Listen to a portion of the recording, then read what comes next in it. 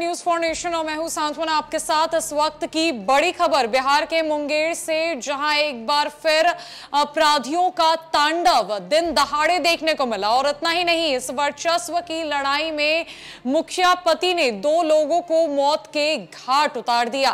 दरअसल गोली तो तीन लोगों को लगी थी, लेकिन जिसमें से दो लोग की मौके पर मौत हो गई और एक व्यक्ति गंभीर रूप से घायल है, जिसका इलाज मुंगेर के अस्पताल में जारी है। ऐसे में पूरे इलाके में सनसनी का माहौल है और इस वर्चस्व की लड़ाई में क्या कुछ हुआ? क्या है ये पूरा मामला? जानते हैं। दरअसल मुंगेर में वर्चस्व की लड़ाई में दो लोगों की हत्या कर दी गई। पुलिस थाने से कुछ मुखिया पति की फायरिंग में तीन लोगों को गोली लगी, जिसमें दो की जान चली गई और एक घायल है।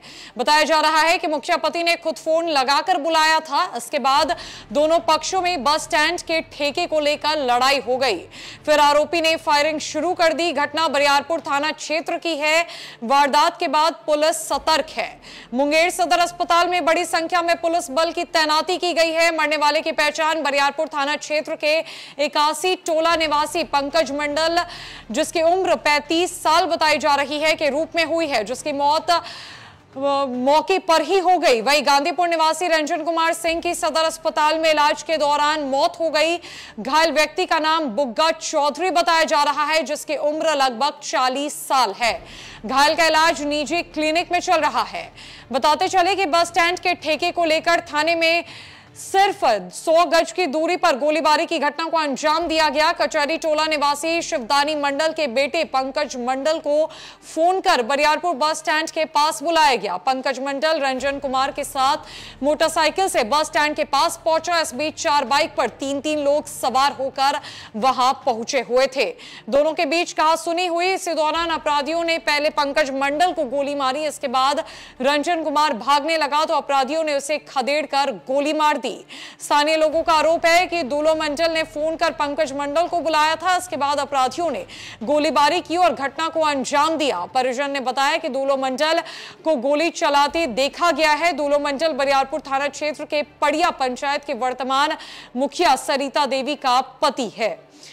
गौरतलब है कि पंकज मंडल कोलकाता पुलिस में नौकरी करता था। पंकज के खिलाफ बरियारपुर थाने में कई मामले दर्ज है, इसलिए उसे नौकरी से निकाल दिया गया था।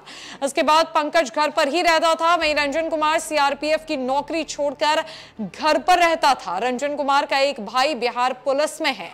घटना के बाद सदर डीएसपी राजेश कुमार मौके पर पहुँचे। स्थिति को तनावपूर्ण देखते हुए सदर अस्पताल में बड़ी संख्या में पुलिस बल की तैनाती की गई। कई थानों के पुलिस कैंप कर रही है। पुलिस ने डीएम के आदेश पर दोनों शवों का पोस्टमार्टम कराकर परिजन को सौंप दिया है। दुर्घटना घटना के बाद मरने वाले के परिजनों का रो रो कर बुरा हाल हुआ पड़ा है। कोतवाली थाना अध्यक्ष धीरेन्द्र पांडे ने बताया कि गोलीबारी में दो लोगों की मौत हुई है। अपराधियों की गिरफ्तारी को लेकर छापेमारी लगातार जारी है।